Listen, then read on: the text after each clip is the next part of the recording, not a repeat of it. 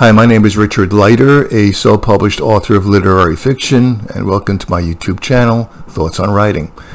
So today I just wanted to make a few uh, comments about socialism and and run with it. I don't have a, a grand plan here, but I just want to say some things off of the top of my head. Now, I think I, I think we all realize that um, Stalin was not a great guy and that Mao was not a great guy. Stalinism and Maoism were responsible for the deaths of well over 100 million people. I mean, I don't know what the exact figure is, but it's in, in, in the, um, the scores of millions, um, probably well over 100 million. Uh, and a lot of suffering beyond the actual deaths. Um, but but what about socialism itself? Because you know, Stalinism and and um, and and Maoism really kind of came from from the from, from the whole emanated from socialism. It became totally it totally Stalinism and and Maoism uh, um, totally morphed into something murderous and tyrannical. But but what about socialism? Was isn't socialism itself stripped of um, of these characters? Um, isn't isn't it a good idea? I mean, isn't peace on earth um, a good idea, brotherhood among all all peoples, um, liberty, equality, fraternity. I never understood how that wasn't the same thing as um, as socialism. Uh, actually, the you know what the difference is. But isn't that a good idea, Rich? I mean, don't you want to have peace on earth? Um, and the first question I would say is, okay, well, what's your definition of peace on earth? What's your vision of peace on earth? A peace on earth means that we're all sort of clones, that we're all sort of in a numbed, becalmed state. We all wear the same uniforms. We all don't own anything. We have, none of us has any property rights at all. Um, well, I mean, that that's not peace to me. That's just being robotic. Uh, so that's the first thing I think of. But the second thing that I think of is, um, you know, it socialism, peace on earth, utopia here on earth seems superficially like a wonderful idea. And that's why it usually appeals chiefly to the young, because they can't discriminate yet. They don't see the subtlety of the danger in it. Um, as soon as you say, let's have peace on earth, let's work towards that, let's try to change things. The moment you try to change things, you are opening up the door to controlling things. And once you begin to control things, you are opening up the door to more tyranny and more bloodshed. Um, it's as if when you look outwards um, to the world to want to change things, uh, when you look to the world of the newspapers and the headlines and you want to change the outer world, you are already condemning yourself at some point to having your um, your altruistic motives morph into um, murderous regimes. So you're dead in the water from the very start. That's why a so, socialism changing things always there's always the implication that you want to look outward. You want to change things in the outer world. You're dead in the water when you begin want to do that. Um, if you want to really change things, I would go with Gandhi. If you want to change the world, change yourself. If you change yourself, well, peace on earth will take care of itself. If everybody is concerned with looking inwards, doing things which are creative and satisfying, all of this other stuff the utopia on earth will just naturally come. Um, or it certainly will not be the chaotic mess that we have now. Um, but in order to change yourself, you have to have the ability to look inwards, to look into yourself, to go deeply into yourself.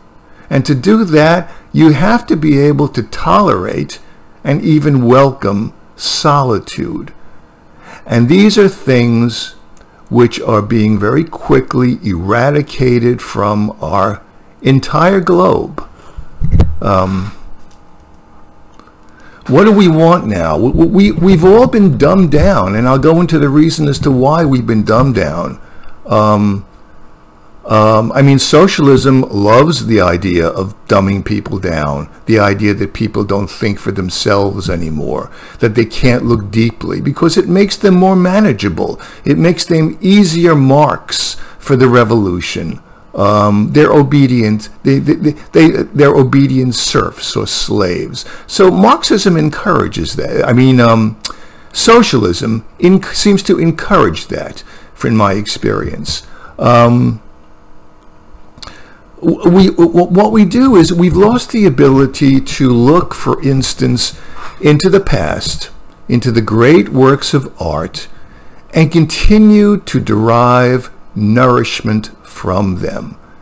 You know, we look at, you know, the, the great works of art of history, and, and we say nowadays, well, that's old hat, that's boring, we've been through that, we need something new.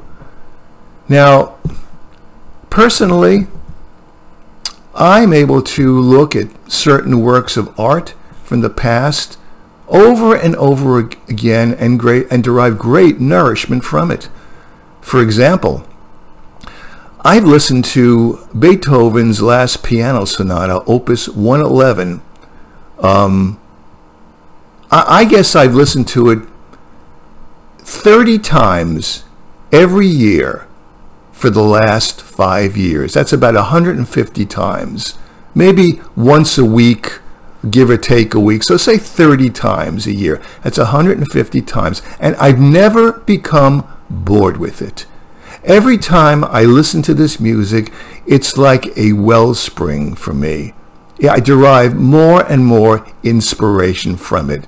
It never loses its freshness. I find that most people are incapable of doing that. Not that I'm the greatest, I'm so great, but as a general observation, I've noticed that people just don't, aren't into that. They've lost the ability to do that.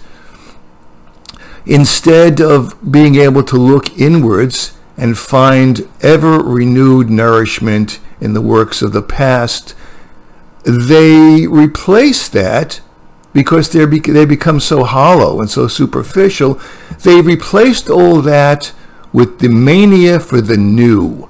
They must have something new. And why do you need things that are new? Because you immediately, whatever, whatever is out there within 10 minutes, you get bored with it. You're like a kid. A kid has a, has a, um, a toy, a new rattle, and they, they, they play with the rattle for about 10 minutes. And then they start crying again. They get bored. They complain, Mommy, give me a new rattle. I've had, had it with this one.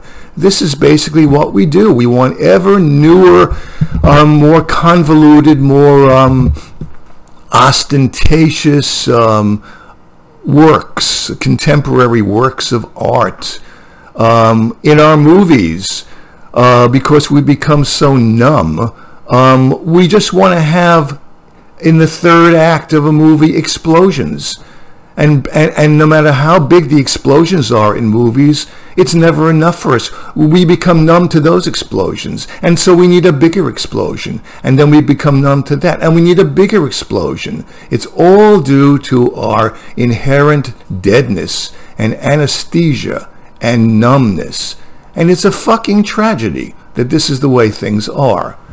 Um, how did we get this way um, to this point of complete anesthesia? I mean, before I, I, I, even get to this point about how we got there, just take a look at the internet. What is the internet essentially when you browse it?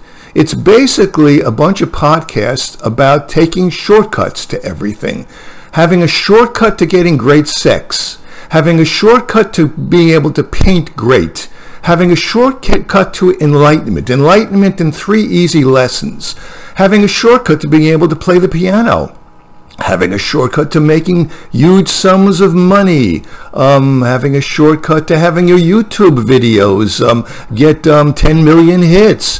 It's all about shortcuts. It's all about doing something um, um, without struggling for it. Um, this is all a sign of our inherent deadness.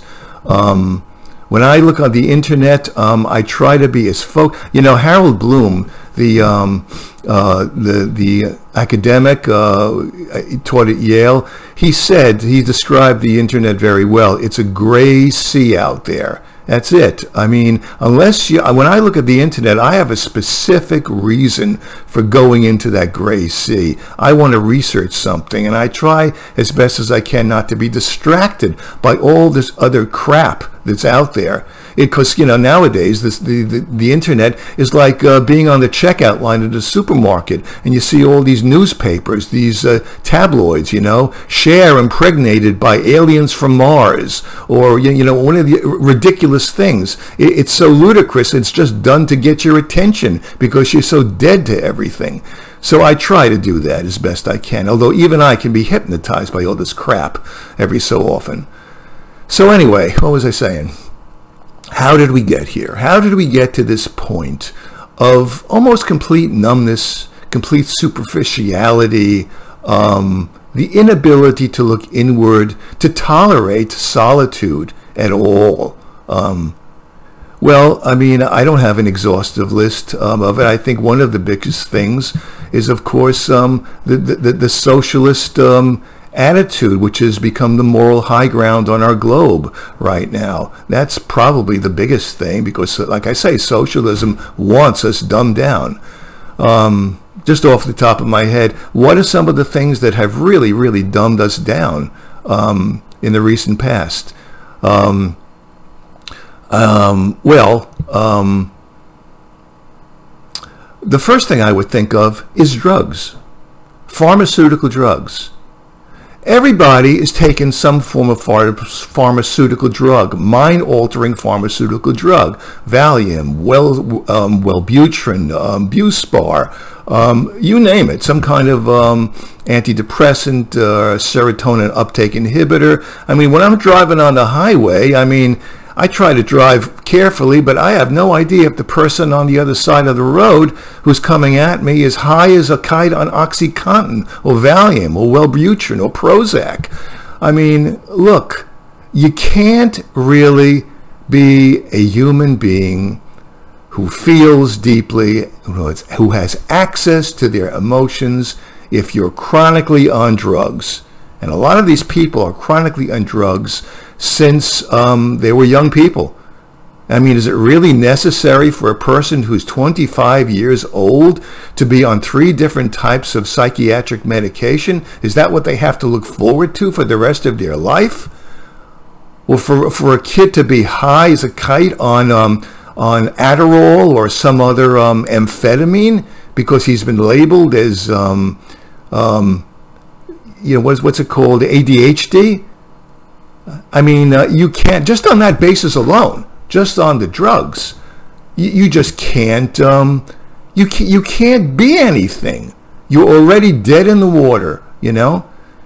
I mean, you know, if, if, if, if, if you have a little stress in your life, which everyone does, you can't avoid it. If you have a little stress in your life, this is already treated as a symptom of depression or treated as a symptom of some kind of a psychiatric disturbance. We have to medicate that stress, you know. This is an abomination, and this has, just that alone, as I say, is is is probably almost completely responsible for those people taking drugs for their being uh, for their being dead and they literally are anesthetized. The other huge over thing which leaps out at me immediately is technology has also very, very efficiently, excuse me, dumbed us all down. And I'm not just talking about these smartphones um, and about the internet and computers. I'm talking about television. Television uh, is the great god of numbing everyone down. Um, I got rid of my TV set about six years ago. I mean, I just couldn't stand it. The only things I watched there was Doc Martin, which I found amusing, and some cooking shows. That's it. I found everything to be offensive, including the shit they, they put on PBS. Um, so I stopped it. And I don't regret it at all. So this is completely mind numbing. And of course, you know, the genie's out of the bottle now. They're not gonna they're not gonna revoke, you know, or recall computers and smartphones and so on. But this is an overpowering um, deleterious has, has an overpowering deleterious effect on on on human beings. Um, those two things alone um, are are just are just huge. They're just huge. Another factor um, is the fact that for the last I don't know since the 50s, um, the United States has has un unparalleled prosperity. We as Americans have been blessed. We've been very fortunate with all the prosperity that we've had you know, the United, the U.S. dollar, the Federal Reserve note is has has been the um, uh, the uh, reserve currency of the world for um, you know over a half a century, um, and as a result of that, we've had this great prosperity. And it's possible also, as an, another thing I'm thinking of, I don't know to what extent, but um, well, we because we've grown so prosperous, we've also grown lazy and fat and spoiled. Um, and as a result, our art, our, our, our contemporary art has grown fat and lazy and spoiled. Um, uh, it's the art of people who are bored with everything. So let's just try to do something which kills the boredom. Let's try to excite ourselves with new and ever more violent forms of expression. It could be that too. But I'll tell you something. If the US dollar goes, as the um, reserve currency of the world, which it seems to be pretty rapidly right now as I record this. And we have a total collapse of our society because of it. We're going to get back to the basics real fast, real soon. We're going to have a real wake-up call as to what is important and what is essential and get back to our basic human roots real quick. We're not going to have the kind of art that we have now, I suspect. So, um, hold on. So that's it. Uh, that's what I think. I think that the, the, the thing that I see happening the most in the world, or in my neck of the woods anyway, and from what I see on the internet, is the overwhelming way in which we have lost the ability to look inwards, the ability to discriminate, the ability to rank things, you know, um, you know, as, as uh, you know, uh, my friend Paul Rhodes wrote a book um, recently called Art in the Age of Anxiety. And he makes the, the point, the beautiful point that nowadays everything is potentially beautiful. Everything is potentially ugly. Everything is potentially art. Well, if everything is potentially art, then nothing is art. Um, then every, we're, we're sort of like awash in a gray sea when that happens. And this is being encouraged. Um, and if you lose the ability to discriminate what is what is good art versus bad, what is quality versus what is piffle, if you've lost that ability, then um, you're foundering in a sea of um, of uh, of emptiness. Um, and I see that right now. I see that this, this egalitarian sentiment, which has pervaded everything, including art, I think mostly of art because I'm very interested in it, is, is, is becoming the death of us. Um, and um, as Paul also says very, very eloquently in his book, the way to get back uh, to creating uh, art that's really meaningful, uh, that is a wellspring for us, that, that, that um, is an ever ever um, present source of nourishment is by getting back to our human roots, getting back to our humanity. Stop being so anesthetized by everything if it's at all possible. Because if it isn't possible, then nothing is possible. Thank you very much.